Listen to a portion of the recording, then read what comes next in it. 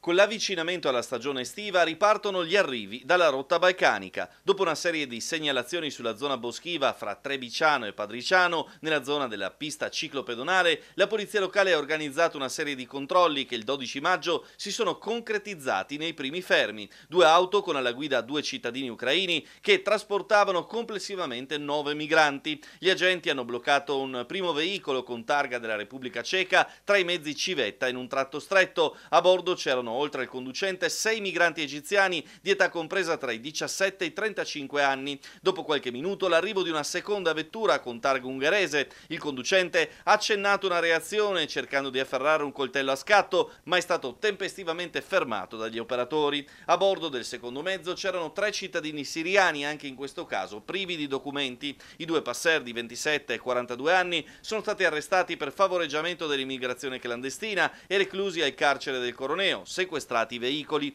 Per due dei nove migranti è stato disposto il respingimento con affidamento alla polizia slovena. Un minorenne invece è stato affidato a una struttura cittadina convenzionata. Gli altri sei uomini, avendo espresso l'intenzione di chiedere protezione internazionale, sono stati denunciati per il reato di ingresso illegale sul territorio italiano.